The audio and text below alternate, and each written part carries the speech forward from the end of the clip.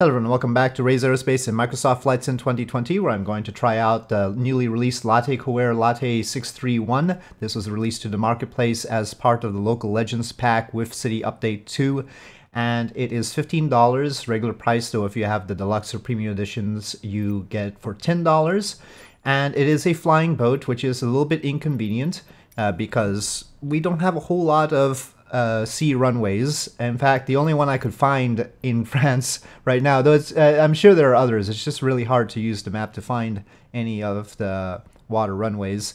Uh, the only one I found was, as it so happens, Latécoère Airport, uh, which this wouldn't have flown out of. Otherwise, I was uh, resigned to me flying out of Gen Genoa instead. But we're going to do a lap here uh, around Bordeaux and then come back to Latécoère Airport to see how I can land it. So I'll just talk more about inside the cockpit here. The Coair 631 is a very large transatlantic flying boat. You can see our cabin is huge. Uh, the distance between me and the co-pilot is something special. and uh, the view is uh, spectacular. In fact, the engines are right there, which is nice. Uh, if you see, see where the engines are, they're, they are really right out the window. So that's uh, fancy. It is a beautiful looking plane, uh, of which 11 were built. That's not unusual for this kind of plane. Uh, the Boeing 314 Clipper had about the same number built, and that was the famous Pan Am Clipper. And uh, unfortunately, many of them met with disaster. Uh, four of them uh, were lost at, I think, basically all in the Atlantic. They all had some mechanical issue, and everyone perished, unfortunately. Not the best record for a local legend ever, but it was sort of a dangerous thing going across the Atlantic still. And but yeah, it, it had some issues engineering wise, but still a beautiful plane and the largest uh, flying boat until the Spruce Goose flew, but of course that only flew once. Uh, but we are going to see whether we can take off in the distance that we have available to us, given that it's so huge. It has many interesting features. Uh, so going back into the cockpit, uh, you'll note the GPS. Don't worry, you can get rid of it. Uh, it there's a lot of uh, features on this clipboard.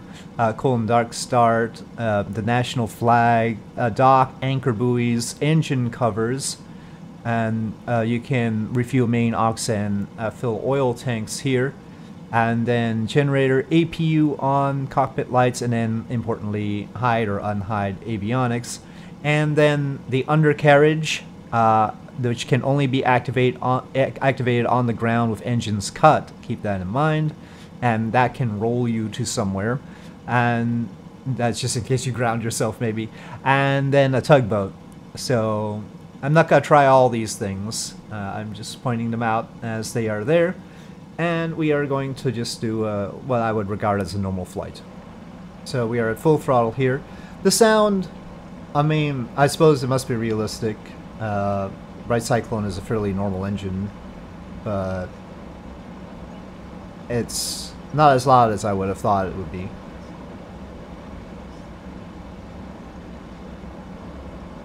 We're at 60 knots right now. The uh, speedometer's in kilometers per hour. We do our flaps down. There is only one flap setting, Landing is going to be harder though. 90 knots. I'm pulling up. And we're off at about 100 knots. Now let's see about clearing the trees, shall we? Once off the water, it accelerates pretty well. 120 knots right now.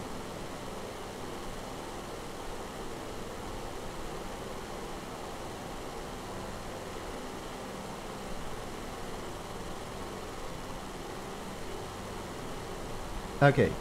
And the flaps over here, it's 0 or 17 degrees. That's it.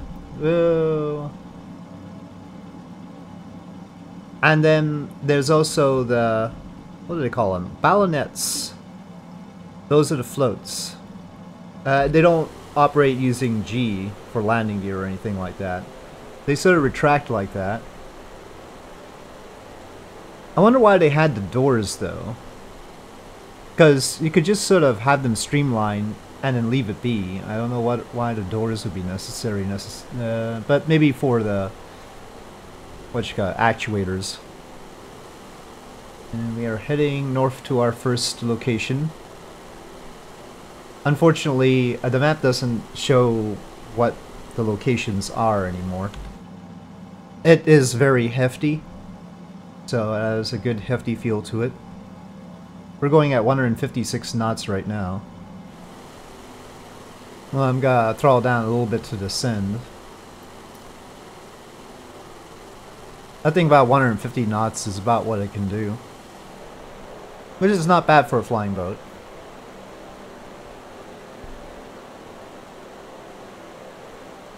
It is very stylish. I think the first sight might be that landscape there. I mean, that's gotta be custom. Interesting. Interesting formation here. Wonder what the townspeople down there think. oh. Yeah, that is definitely custom. I don't know what to call it, but this is site number one. Let's see, I've got an alternate map that might tell us. Nope, it doesn't seem to have this thing marked any words at all.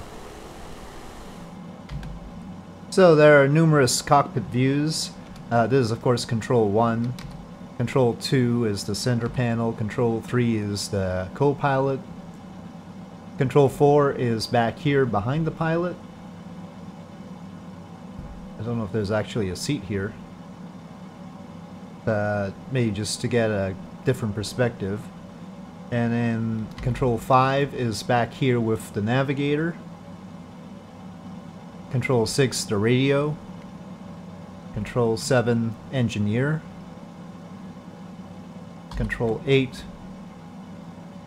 Uh, I don't know, more engineer? It's probably more engineer. They, they always need as many as possible.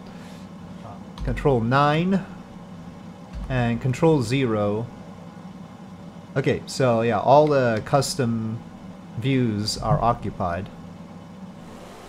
Not many custom external views. I don't know if there are any further views of the cabin. I thought I saw one, but I don't know how to access it without just uh, moving the camera manually. Incidentally, it does come with 16 liveries, even though there were only 11 actual planes. I, I guess maybe they they got repainted along the way. I'm not sure. Looks like the cruise speed was 160 knots, and then the maximum speed 213 knots. That's according to Wiki, so I'll take it with a grain of salt. And the range 3,259 nautical miles, which of course is transatlantic range. And yeah, the view with the engines as we're cruising along. It feels natural to fly it at fairly low altitudes. Well, I sure do hope people like flying boats, because we sure have a lot of them for Flight Sim. I wish we had some of the more sporty ones, like the small record breaker float planes. The crazy ones that had the airspeed record for a while because there weren't any proper runways, so the land planes didn't have enough room to take off while having an enormous engine, but the seaplanes could. They could have much larger, more powerful engines, and because they just needed a large stretch of water, uh, even though they were encumbered by having the floats, they were able to set records. Don't have any of those. I wish we had some of those. Those were fun planes. Uh, even freeware, I don't think I've seen one. Oh, the weather over Bordeaux seems a little bit rainy. I mean, in this uh, weather, this looks very legit. It's just the right shading. That is a very selective sort of storm system just over Bordeaux. I think our first sight is that bridge right there.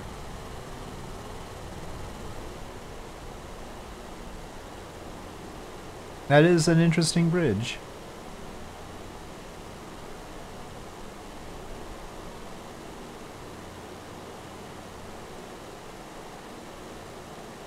Well, with that bridge over there, uh, this bridge could do some work here. Uh, uh this part, the span looks fine. It's just, well, over on this side, it doesn't look great. We've got cranes over here. I don't know what's going on here. Seems like solar panels otherwise. But probably we shouldn't have cranes in the middle. But that's probably uh, add-on pack. Okay, our other site was that, I think. That's a stadium. But, unfortunately, the weather's not great. Still, we, we, we've got a good look at it, I think. Okay, on our way back to the airport, but there is a site that I've got plotted before we land. The way the horizontal stabilizer and vertical stabilizers are just a curved single piece is sort of interesting. As opposed to them being distinct surfaces. Not sure whether that's beneficial or not, to be honest. Okay, we are back close to that interesting sandy formation that we saw earlier. That there is another site close by. And I suspect that might be a lighthouse, but I'm not sure. It's just in a location that a lighthouse might be in, but uh, we'll see. We'll see what it looks like. I've been consistently between 150 and 160 knots during the flight. I'm not at full power here. Both the RPM and the throttle are a little bit back. Okay, what do we have here?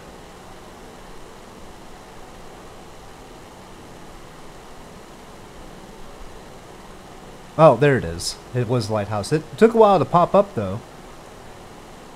An interesting place for a lighthouse. I guess it's explaining the difference between this side and the coast. But yeah, definitely a lighthouse there. And we turn left towards the south to our landing site. It's definitely nice looking at the engines like this. Now, can I land this huge thing within the lake? uh, it's not so obvious that that's going to be easy. Water does tend to slow things down pretty forcefully, I'm guessing that this probably has quite a lot of momentum, so I'll, I'll start slowing down even right now. It does have a radar altimeter, I think. I think that's what that one is in meters. Okay, I'm gonna get the flaps down. And when the flaps go down, the ballonets automatically go down, it looks like.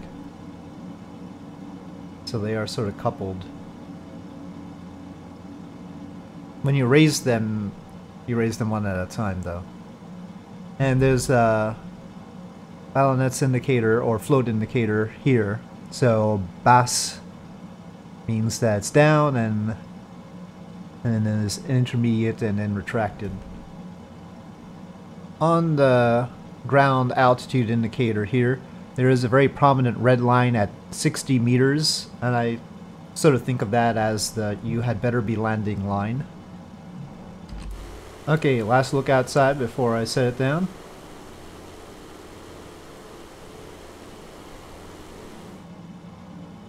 One hundred and eleven knots right now.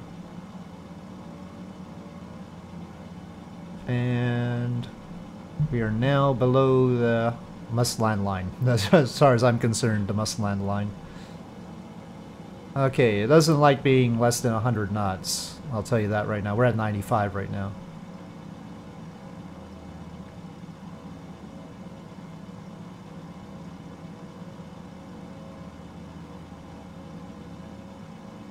Okay.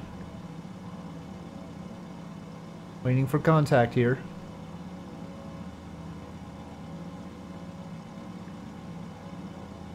Okay.